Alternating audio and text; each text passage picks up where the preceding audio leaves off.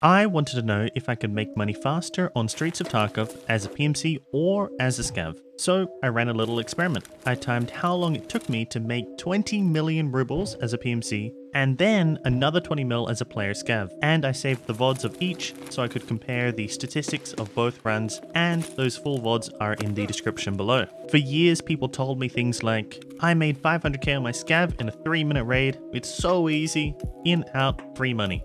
But I suspected that they were cherry picking a good raid because I'd never hear from them about the raids where they spawned in with no bag, a tiny rig, where all the good loot had already been taken. So in order to have a real test where I'm not cherry picking an amazing few raids in which I find a bunch of bitcoins, I knew I'd have to control for the random nature of both Scav and PMC raids. I did this by playing on the same server. For both, I selected Australia as my server. On the Australian server, Monday to Thursday night are fairly quiet, assuming Monday isn't a public holiday, whereas Friday night to Sunday night is a little bit more populated. So I ran on weekdays and started at the same time of day as well. For my PMC run, I started on Monday the 29th of January at 5pm GMT plus 8, and the scav run began on Wednesday the 31st of January at 5pm GMT plus 8. I also completed both runs on the same map, that is Streets of Tarkov, and when possible I chose night raids. Also, I made sure to make no money from hideout or insurance during either run. I also didn't use the BTR at all because I wasn't sure if it would deliver the loot in time to count for the run. To make sure I actually made 20 mil on PMC, all equipment and consumable cost was taken into account because it wouldn't be a fair test if I burned through a stash of weapons without rebuying any of them. For the scav run, I didn't need to track any consumables, so I just took note that my intel level was 3 Fence Rep was over 6 at 6.2. Hideout Management skill was level 8, which gave me a cooldown of about 5.5 minutes. I'm not sure of the exact cooldown because it seems to start counting down before I load out to the menus to check it.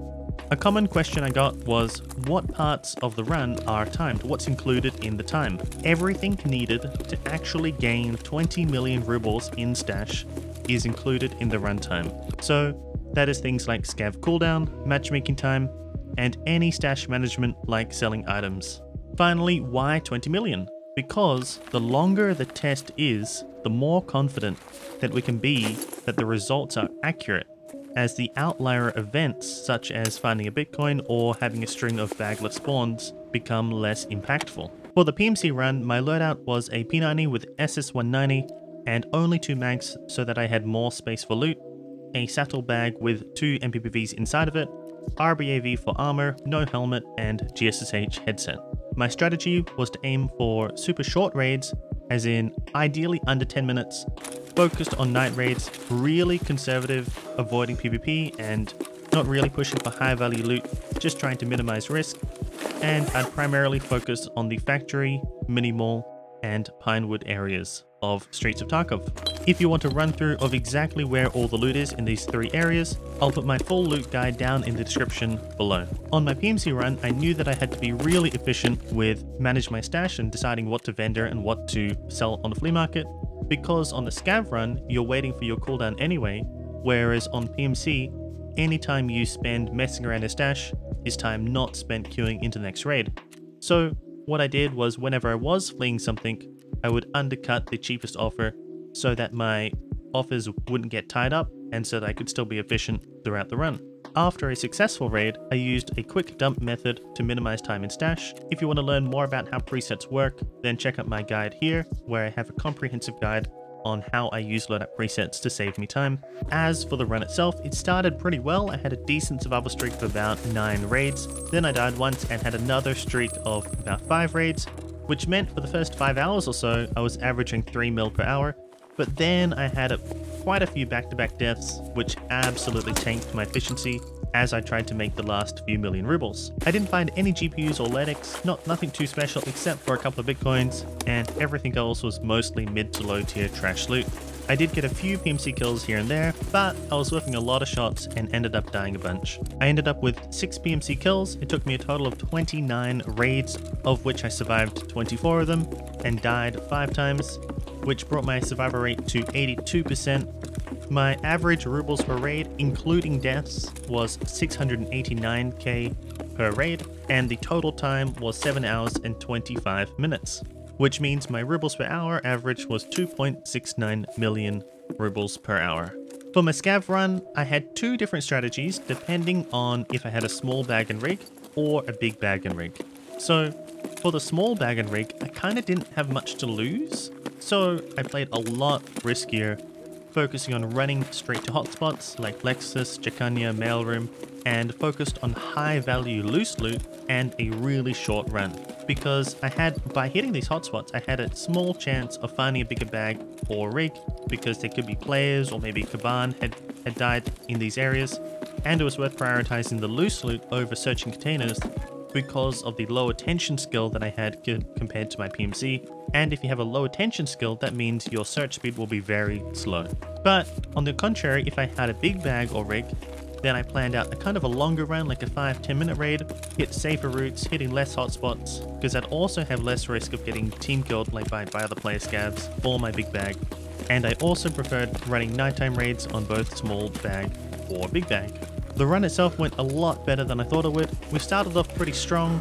Around an hour 15 minutes in, we found a really juicy PMC loot at Golden World, and it came out super thick. Then I had a Pilgrim and found a TV-110, which I completely stacked up with full of loot, and I only had my first death in the second hour of the run, which meant I had a great start making around 5.7 mil by 2 hours into the run. Then I had a string of small bags with a few deaths, and my first death by TK by another scav while I was looting Kaban's guards. Then during the fourth hour, I had a few more deaths, and I got to the halfway point at around 4 hours 25, made 10 mil. Then in my sixth hour, I had my second TK death by another player scav. And finally, in my seventh hour, I actually finally got a red flare and I managed to call it and loot it all, which resulted in a really thick red. And near the end, I got my second PMC kill and I managed to loot him and get out with a whole heap of loot. In general, I found the matchmaking times were a lot quicker on Scav, but obviously that was offset by the cooldown time. On average, I spawned in with around 32 to 35 minutes left in Raid, which was plenty of time to loot heaps and heaps of areas. I didn't find any LEDX or GPUs, and I think only one or two Bitcoins. I ended up taking the Kamchatskaya extract a lot, often hitting Golden World, the museum, and the safes in Cardinal and Astronaut. I ended up with 2 PMC kills, a total of 35 raids, of which I survived 28. I died in 7 of them, which includes the 2 team kills by other player scavs, and I had a survivor rate of 80%, which brought my rubles per raid average, including deaths, to 571k per raid, with a total time of 8 hours and 31 minutes, which brought my rubles per hour average to 2.34 million rubles per hour. Now to compare the PMC run to the Scav run, on PMC I had 4 more PMC kills, but 6 less raids, and 4 less raids survived, but also 4 less deaths. And I had plus 2% survival rate on PMC compared to my Scav, and I averaged 118k more per raid on PMC, and I completed the challenge 66 minutes earlier than the Scav run, and my rubles per hour was 0.35 mil per hour greater than the Scav run. So 350,000 rubles more per hour on average. So in conclusion, PMC definitely made more money, but not by much, and the skill needed to be efficient on Scav is monumentally less than on PMC. For example, on Scav you don't need to learn PMC spawns, how to survive off spawn, like how to route around the map and like different spawn timings and, and how to PvP really in the different hotspots. Like you need minimal PvP skills such as controlling recoil, clearing angles.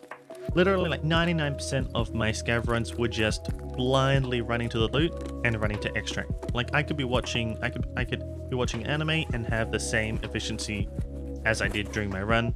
Because most of the time I was just reading chat to be honest. Like very, very minimal attention needed to be actually applied, needed to be paid to the game itself in order to be incredibly efficient on runs. Obviously this test is not all conclusive because the efficiency of both being a Scav main or a PMC main could be increased. PMC runs improve as skills level, and like as you get max endurance, max strength, especially max attention and search, and as you get bigger bags. So during the majority of my last wipe, where I made a billion rubles, I was averaging around 3 mil per hour, after I had like a raid bag with two LBTs and a MPPV. Everything was maxed like endurance, strength, uh, search, attention, perception, metabolism, all maxed. That all made it really easy to make a lot more money per hour, like a, yeah, around 3 mil per hour. And scav runs could be improved as you could do a lot more hideout crafts for profit.